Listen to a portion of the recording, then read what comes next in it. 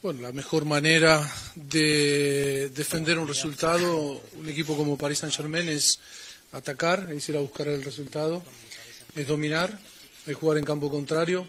Lo hemos podido hacer en los primeros 90 minutos en nuestro campo en Par de France. Sabemos que va a ser un partido difícil, sabemos que Madrid será, eh, será un Madrid diferente, eh, no solamente por algunas bajas que, que tienen, eh, como nosotros también, bajas que tenemos pero sabemos que es el partido, un partido definitivo y por lo cual nos eh, va a demandar una concentración, concentración absoluta y eh, sobre todo adaptarnos y leer eh, las condiciones eh, que han cambiado en tres semanas desde el partido de, de París a lo que va a ser el, mañana aquí en el Santiago Bernabéu. Sí, por supuesto que, hablamos. No, está bien, está bien porque el momento que recibió el golpe Creo que se, se divulgaron una, unas imágenes que se vio la, acción y el grito de dolor.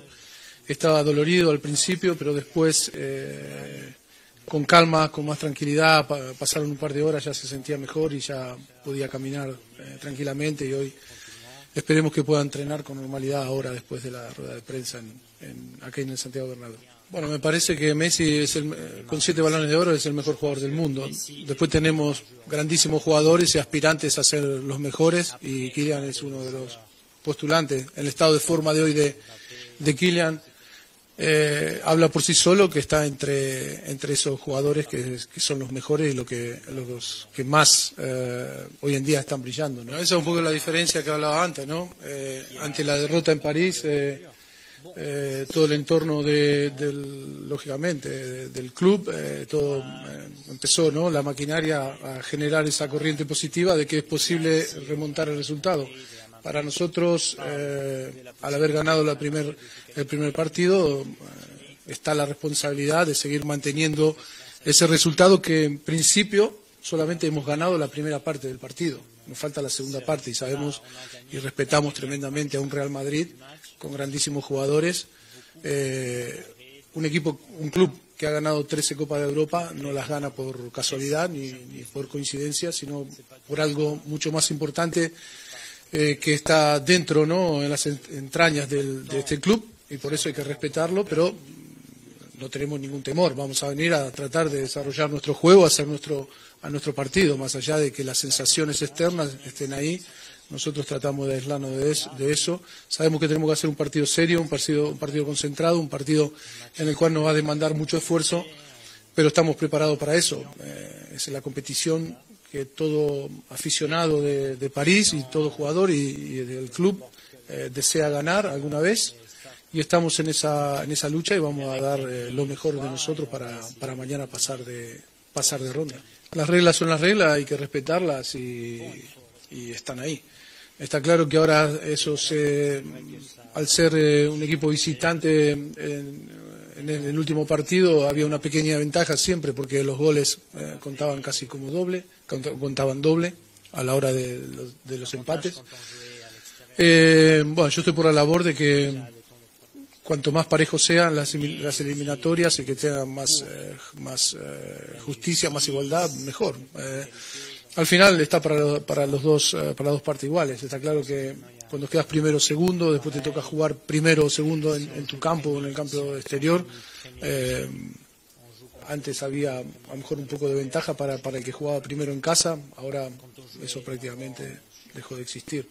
Conocemos, hemos visto todos los partidos, tanto nosotros a ellos como ellos a nosotros, y sabemos de lo que somos capaces o de lo que podemos cambiar eh, durante, durante el juego.